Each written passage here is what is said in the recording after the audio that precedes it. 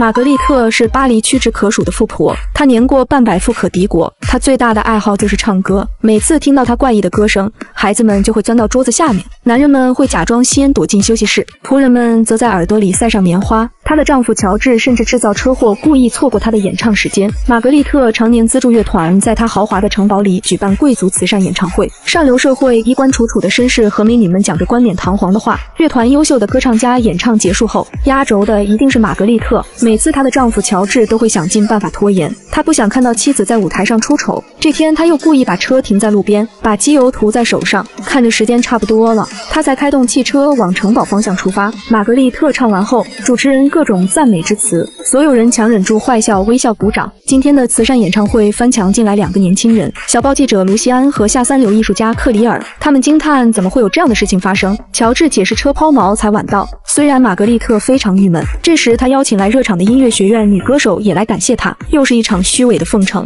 音乐会结束后，所有演员都站好，玛格丽特排在最中央的位置，管家给他们拍了合影，这场演出才算完美结束。回去路上，记者和女歌手聊起玛格丽特，她是个富二代。她与丈夫联姻继承了她的爵位，从此跻身贵族阶层。尽管她富甲一方，然而每日无所事事，精神世界极其匮乏。她资助艺术沙龙，举办各种慈善捐助会。记者掏出刚才在她家偷来的照片，女歌手问：“你们觉得她真的不知道自己唱歌有多不对劲吗？”他们回答：“也许是他真的不知道。” 晚上，玛格丽特对乔治说：“好朋友拉贝尔开了一家饰品店和一个小美术馆，他每天如此充实，真是太羡慕他了。”但乔治却说：“你可以去逛街打发日子，并说自己还有很多事，让他先去睡觉。”玛格丽特瘪瘪嘴回了房间。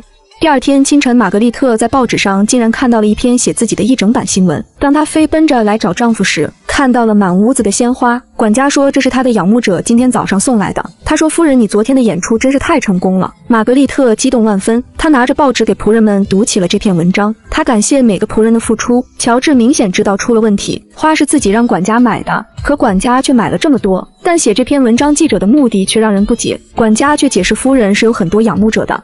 玛格丽特和管家一起来到出版社感谢记者，并送他一份礼物。他谈起自己收藏了许多名人的原始乐谱，记者吹捧他是个名副其实的收藏家。这时艺术家也赶来，记者介绍就是艺术家把他的照片经过修饰刊登在报纸上。他和玛格丽特聊起了名画，说他认识很多有名的画家。玛格丽特则表示自己也喜欢收藏，并有些珍品，钱在他这里并不是问题，最重要的是拥有这些艺术品。他们问起玛格丽特是否有老师。他否认了，他们承诺要给他找一位行家教他唱歌。接着，玛格丽特花了不少钱从艺术家手中买回了他的照片。他们在窗口看着离开的玛格丽特，两人看到了巨大的商机。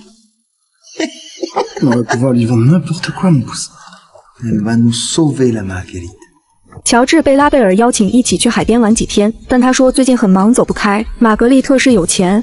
可并不是我有，他花钱买了我的头衔而已。拉贝尔问记者写的文章你没有看到吗？他说也不知道记者有什么意图这么做。玛格丽特像野兽一样的狂吼让他非常不舒服。可是他为什么一直要这么做呢？拉贝尔聊起早上他来我店里了，他并没有察觉到什么。乔治则表示他好像已经不是个女人，他看起来就像只怪兽。这天，玛格丽特又穿着戏服让管家给她拍照。他们等着光线最好的时候跑去户外抓拍。玛格丽特拿着请柬给乔治看，她被记者和艺术家邀请参加一场演出，届时会有很多新晋的艺术家、诗人等观看。管家帮玛格丽特准备好行李之后，来问乔治是否已经备好车。像平常一样，乔治在车里做了手脚，果然没开多久车就抛锚了。他和妻子抱歉，可能这次去不了了。正当玛格丽特无可奈何，不得不放弃时，却看到管家开着车来了。原来是管家看到乔治的伎俩，故意跟着他们说给女主人送他忘记拿的乐谱。玛格丽特看到管家，就像看到了救星，他总是能在最关键的时刻出现。